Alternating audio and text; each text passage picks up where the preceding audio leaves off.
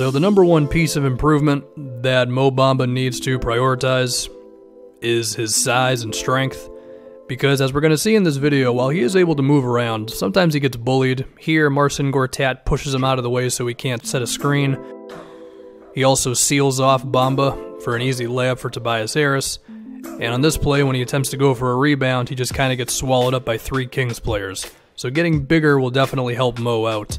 As far as his actual game, I think what's intriguing is how good of a finisher he is. He's shooting a gargantuan 79% at the basket.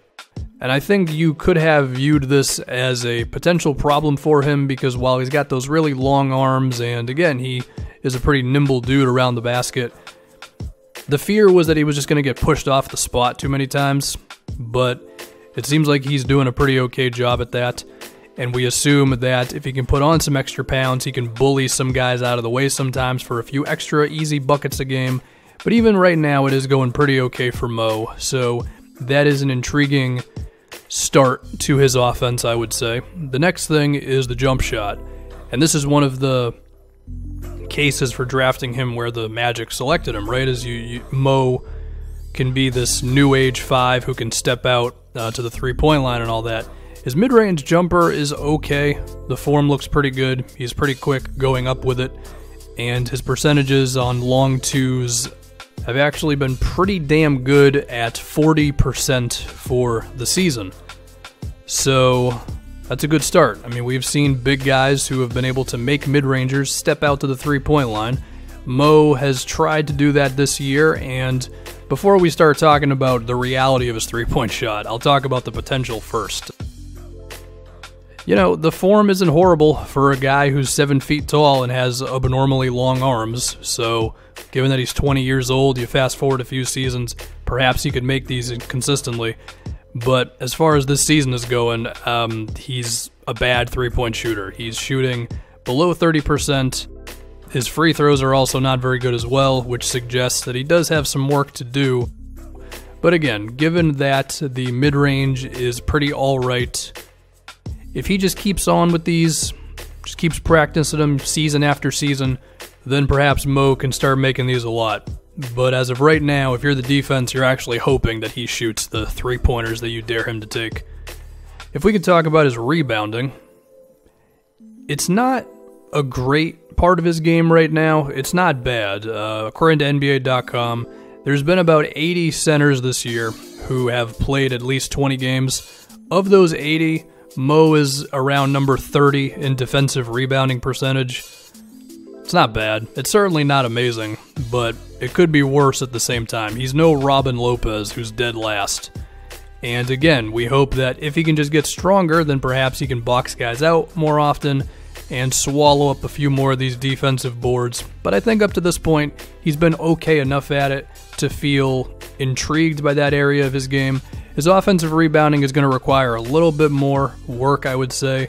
There are a lot of times when he just stares at potential offensive rebounds and doesn't actually go for them, but when he sets his mind to it, it seems like he can be a problem for the other team. So perhaps being a little bit more aggressive on the boards could lead to Mo being a bit of a terror there.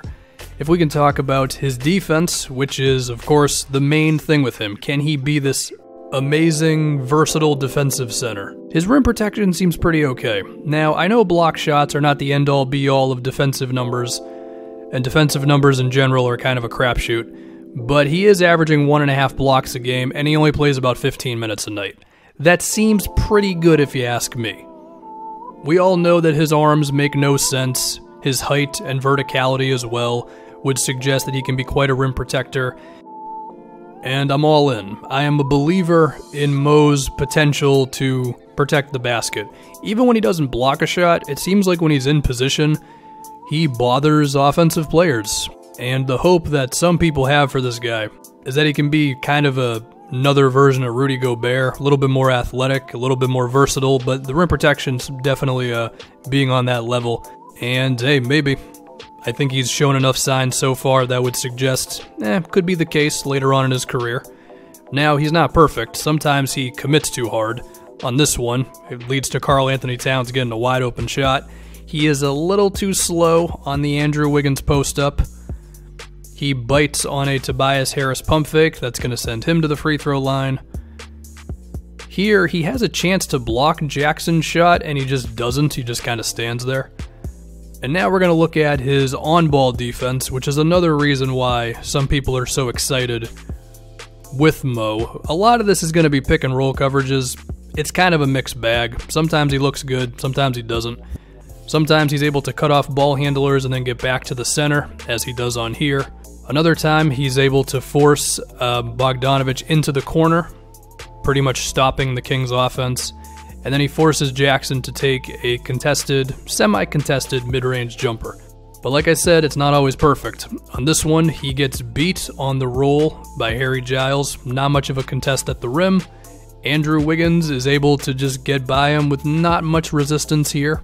Similar thing happens as Tobias Harris treats him as if he's a guard who has no business staying in front of him and while you may be able to force Justin Jackson into a mid range, it's not going to work against Kemba Walker. But if we can be positive again, he had a decent game against some of these Kings guards. Another bad jump shot. Patrick Beverley has nowhere to go as Mo seals the pick and roll and stays in front of his guy there.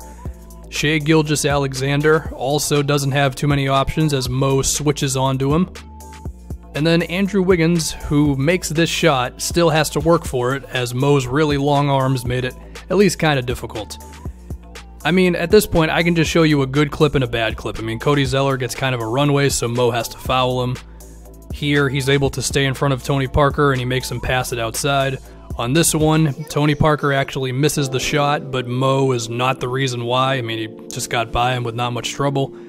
And then on this here, uh, Tyus Jones, like some of these other point guards, is forced to go to his plan B that's the gist with Mo Bamba. Sometimes it's good, sometimes it isn't on defense, but if you ask me, I think there's been enough good signs with the shot blocking to suggest that he can end up being a pretty damn good defensive player.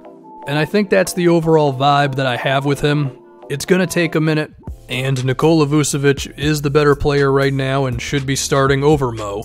But assuming that he works hard and the Magic keep giving him the opportunities to play, I think they will eventually feel pretty good about this draft pick.